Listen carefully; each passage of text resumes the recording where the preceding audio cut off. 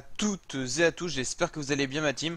Aujourd'hui pour cette nouvelle vidéo, on se retrouve pour la présentation complète de l'étape 9 du Tour de France 2020, une étape qui relie Pau à La Reims, une étape donc de montagne de 153 km au programme pour un total de 5 euh, ascensions répertoriées et une ascension répertoriée de 4ème catégorie dès les premiers kilomètres euh, de l'épreuve. Donc je vous rappelle qu'on suit en intégralité le Tour de France 2020 sur ma chaîne YouTube, donc n'hésitez pas à vous abonner à ma chaîne pour cette raison.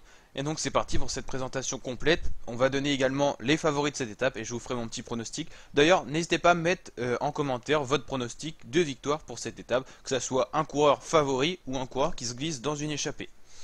Donc euh, très certainement une échappée risque de se former dans les premiers kilomètres, notamment peut-être avec le maillot à poids qui voudra peut-être euh, être conservé par euh, l'équipe AG2R. Alors soit Benoît Cosnefroy, le maillot à poids lui-même qui va dans l'échappée, soit Nance Peters qui a gagné hier et qui a seulement 2-3 points de son collègue de la G2R la mondiale. On a quand même des sacrés cols répertoriés aujourd'hui. Le col de la Ourserre, 11 km à 8,8% de moyenne, très pentu. Col du Soudé, 3 km 8 à 8,5% de moyenne, très pentu également après une petite descente. Ensuite, tu auras vraiment un petit peu de plaine. Le col d'Icher, 4 km à 7% de moyenne. Et le col de Marie-Blanc qui sera le dernier col de l'étape avec un sprint bonus pour les modifications en haut de ce col.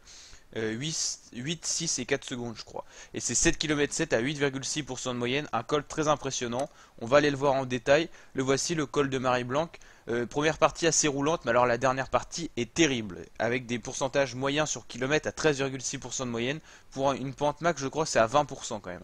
Donc c'est impressionnant.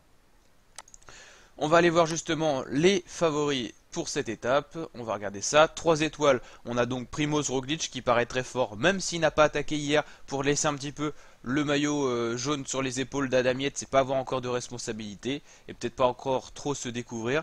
Euh, Tadej Pogacar, lui a été très fort, a récupéré une minute au général hier, donc lui forcément il est dans les favoris de l'étape. Julien Lafilippe qui a perdu 11 minutes au général pour pouvoir jouer les victoires d'étape et se glisser dans les échappées à l'avant, forcément qu'il est à 3 étoiles.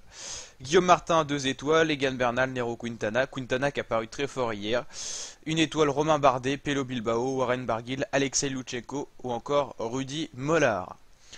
Donc euh, voilà pour cette euh, présentation. Moi pour euh, mon pronostic, je mettrai Julien Lafilippe qui va chercher une victoire en se glissant dans l'échappée. Ça serait quand même plutôt bien parce qu'il a quand même perdu le général hier.